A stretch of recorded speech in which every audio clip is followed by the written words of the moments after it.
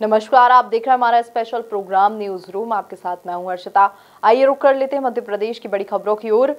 मध्य प्रदेश चुनाव के लिए बीजेपी ने अपने घोषणा पत्र को दृष्टि पत्र नाम दिया है और इसके लिए जिला मुख्यालय और मंडल में सुझाव पेटी भी रखी जाएगी। इन सुझाव पेटियों में लोग अपने सुझाव डाल सकते हैं, जिसके बाद इस आधार पर बीजेपी अपना दृष्टि पत्र तैयार करेगी।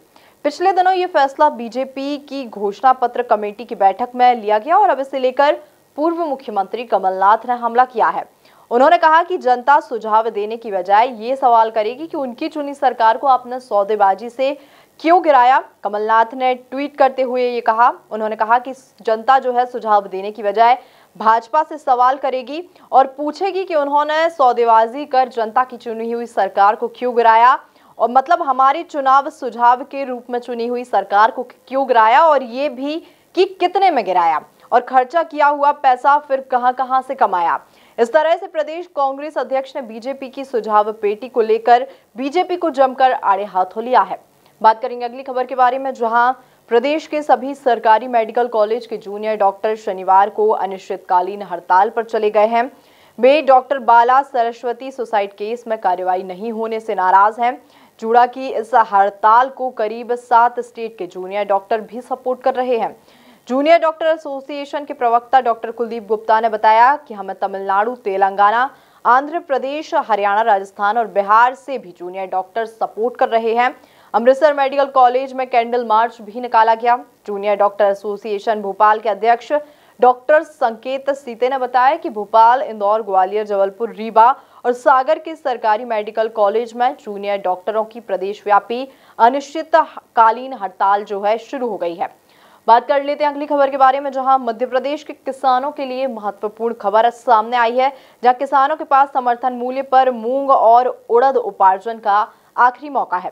क्योंकि मूंग और उड़द खरीदी की आखिरी तारीख सात अगस्त है, मौका जाने से पहले किसान इस तारीख तक फ़सल बेच सकते हैं। और खास बात यह है कि किसान अपनी सुविधा अनुसार कहीं पर भी स्लॉट बुक कर मूंग की दाल को बेच सकते हैं। वहीं प्रदेश के 32 जिलों में मूंग की खरीदी की जा रही है। बता दें कि इस साल राज्य सरकार ने मूंग का समर्थन मूल्य जो है, सात हज़ार सात सौ पचपन प्रति क्विंटल तय किया है। हाल ही में एमपी कृषि मंत्री कमल पटेल ने ट्वीट कर लिखा था कि भाजपा सरकार किसानों के हित में निरंतर कार्य कर रही है। मुख्यमंत्री शिवराज सिंह चौहान के नेतृत्व में हमने समर्थन मूल्य पर ग्रीष्मकालीन मूंग एवं उड़द खरीदी की अंतिम तिथि को 31 जुलाई 2023 से बढ़ाकर किसान भाइयों बहनों के हित में 7 अगस्त 2023 तक करने का निर्णय लिया है। बात कर लेते हैं अगली खबर के बारे में, जहाँ जबलपुर के रामपुर स्थित अग्रवाल पेट्रोल पंप में बीती रात ग्राहकों ने जमकर हंगामा कर दिया। दरअसल दर्जनों ग्राहक पेट्रोल पंप में पेट्रोल भरवाने के लिए पहुँचे थे, लेकिन ग्राहकों की बाइक पेट्रोल पंप के थोड़े आगे जाकर ही बंद हो गई।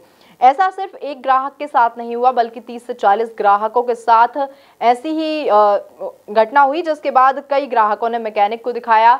वहीं जब बाइक के टैंक से बोतल में पेट्रोल निकाला गया, तब टैंक में पेट्रोल कम, पानी ज़्यादा निकला। पेट्रोल पंप पर इसके बाद देर रात तक ग्राहकों ने हंगामा किया। पेट्रोल पंप में मिलावटी पेट्रोल देने की सूचना पर गोरखपुर पुलिस भी मौके पर पहुँची और ग्राहकों को इधर उधर करवाया गया, लेकिन ग्राहक कार्रवाई करने की मांग पर अड़े रहे। जिसके बाद गोरखपुर टीआई ने नायब तहसीलदार और खाद्य विभाग के अफसरों को घटना की सूचना दी, जिसके बाद आज खाद्य विभाग के अफसर भी मौके पर पहुँच गए हैं। वहीं मामला तूल पकड़ते हुए पेट्रोल और डीजल की बिक्री तुरंत बंद करवाने की मांग की गई और पेट्रोल सहित ग्राहकों की बोतलों के भी सैंपल लिए गए। बात कर लेते हैं मध्य प्रदेश के मौसम की, जहाँ अगले हफ़्ते से मध्य प्रदेश के मौसम में बदलाव देखने को मिल सकता है।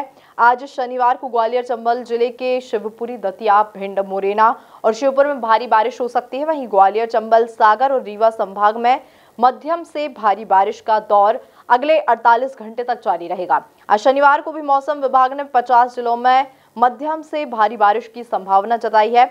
आपको बता दें कि एक जून से अब तक ओवरऑल 12 प्रतिशत बारिश ज़्यादा हो चुकी है और पूर्वी हिस्से में अभी भी औसत 14 प्रतिशत तक बारिश कम हुई है। आपको बता दें कि आगामी दिनों में जो है मौसम खुल जाएगा, हालाँकि कहीं कहीं हल्की से मध्यम बारिश का दौर भी देखने को मिल सकता है।